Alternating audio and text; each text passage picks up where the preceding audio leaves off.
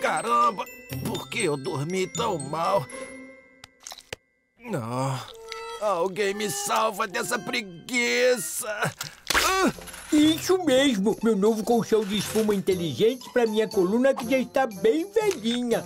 É, vou lá colocar esse cara no lugar. Ô, tio avô, peraí. O que foi, Steve? Na verdade, é... Eu queria saber se eu, Steve Pizza, poderia dormir nesse colchão. Eu adoraria deixar, Steve, mas eu não durmo há mais de mil anos.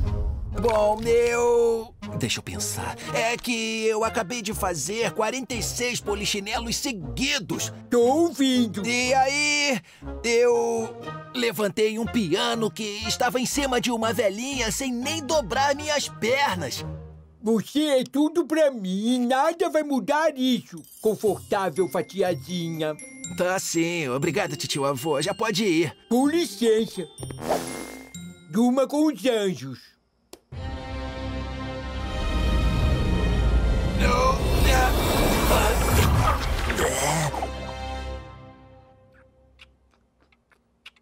Dormiu bem, amiguinho? Onde estou? E quem são vocês dois?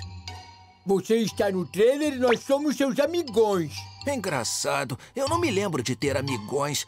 Eu não lembro nem de como eu me chamo. É o Steve Pizza. Você não se lembra? Sou uma fatia de pizza.